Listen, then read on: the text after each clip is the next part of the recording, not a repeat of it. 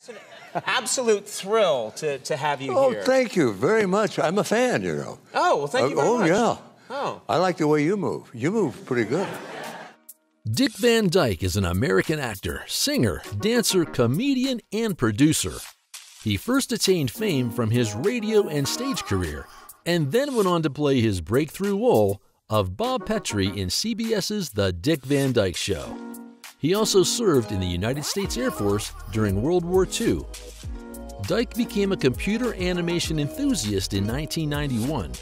His passion was seen in The Dick Van Dyke Show Revisited and Diagnosis Murder, where he used his 3D rendering effects. He has also displayed his computerized imagery work at SIGGRAPH. The veteran actor is the recipient of numerous awards, including the SAG Life Achievement Award. Really blew me away. Oh, so gr- funny and so original. And then I find out you're not a trained dancer. No, no, I'm not. I never even thought about dancing till I was in my 30s, till I had to. Hello, everyone. Welcome back to Net Worth Now, where you get to see the lifestyle and net worth of your favorite celebrities. We hope you enjoy these videos, and if you do, please remember to hit the like button and comment below who your favorite celebrity is so we can feature them in an upcoming video. His full name is Richard Wayne Van Dyke, also known as Wayne. He was born on December 13, 1925, in West Plains, Missouri, United States, making him 95 years old at the time of this production. He stands at 6 feet 1 inch or 185 centimeters tall. His hobbies include golfing, sailing, spending time with his family, dancing, traveling, comedy, playing the piano, using the computer, Bible, praying, and singing. Van Dyke is sober and struggled with alcoholism in his past and checked into a hospital for three weeks in 1972 to be treated for his addiction. Van Dyke was a heavy smoker for most of his adult life. In a January 2013 interview with the London Daily Telegraph, he said he had been using Nicorette gum for the past decade. In April 2013, Van Dyke revealed that for seven years he had been experiencing symptoms of neurological disorder, in which he felt a pounding in his head whenever he lay down. But despite his undergoing tests, no diagnosis had been made. He had to cancel scheduled appearances due to fatigue from lack of sleep because of this medical condition. In May 2013, he tweeted that it seemed his titanium dental implants may be responsible. On February 12, 1948, while appearing at the Chapman Park Hotel on Wilshire Boulevard in Los Angeles, he and the former Margerie Willett were married on the radio show Bride and Groom. They had four children Christian, Barry, Stacy, and Carrie Beth. They divorced in 1984 after a long separation. In 1976, Van Dyke began his relationship with longtime companion Michelle Triola Marvin. They lived together for more than 30 years until she died in 2009. On February 29, 2012, at the age of 86, Van Dyke married 40 year old makeup artist Arlene Silver. They had met six years earlier at the SAG Awards. You have to be an iconic dancer. You have to be a fantastic dancer, and you just did it. I, well, I, I had Gower Champion, who was the director and the choreographer by By Birdie. Yeah. Van Dyke was born to Hazel Victoria, a stenographer, and Loren Wayne Cookie Van Dyke, a salesman. He grew up in Danville, Illinois. He is the older brother of actor Jerry Van Dyke, who appeared as his brother in The Dick Van Dyke Show. Van Dyke is a Dutch surname, although he has English, Irish, and Scottish ancestry. His family line traces back to Mayflower passenger John Alden.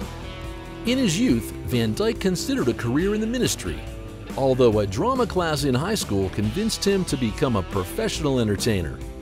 Throughout his acting career, he continued to teach Sunday school in the Presbyterian church where he was an elder, and he continued to read such theologians as Martin Buber, Paul Tillich, and Dietrich Bonhoeffer. During the late 1940s, Dick Van Dyke served as a radio DJ in Danville. In 1947, he formed a comedy duo with pantomime performer Phil Erickson called Eric and Van, the Merry Mutes. The duo first toured the West Coast nightclub circuit. and then brought their act to Atlanta in the early 1950s. Then they performed in a local TV show featuring original skits and music titled The Merry Mutes.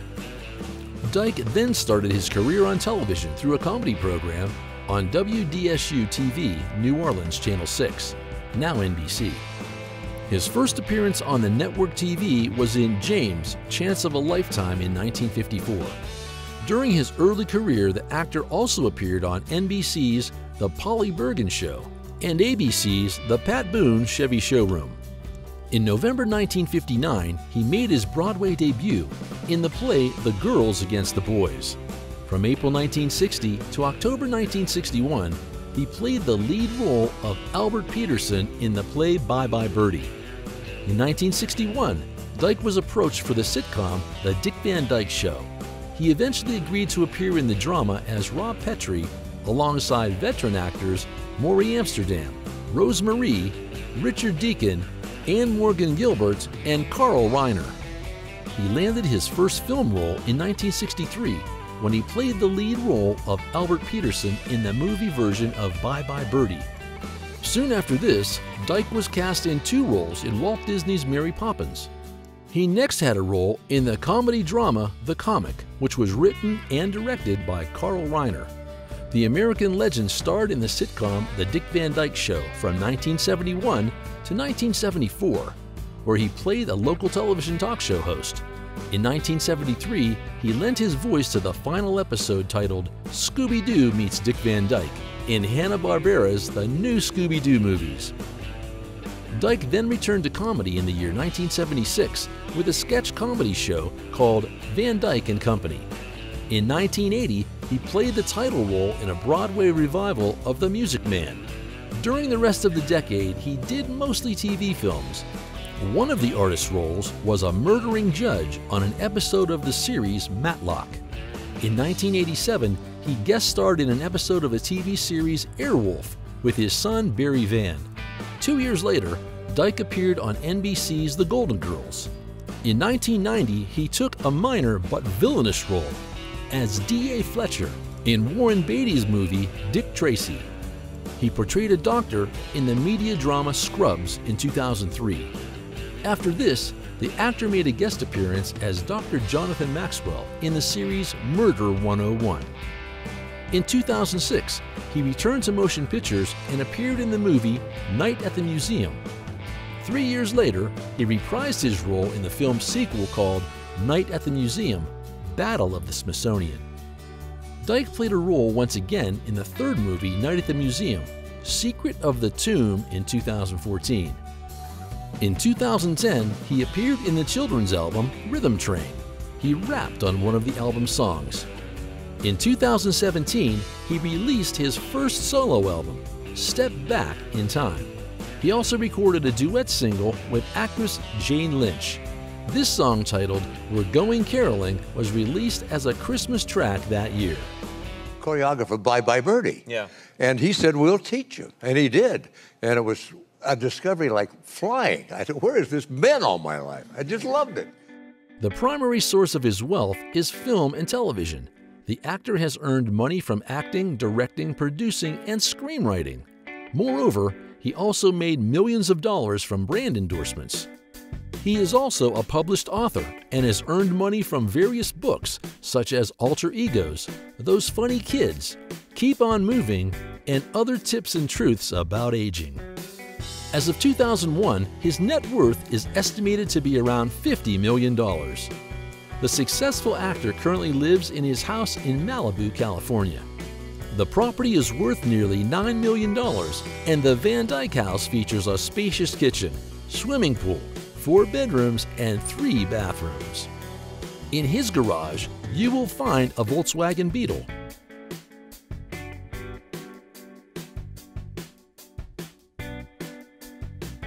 a Jaguar XJ,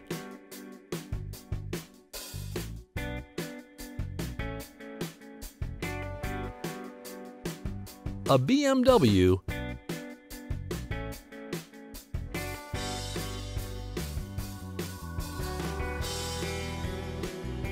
and a Mercedes CLK.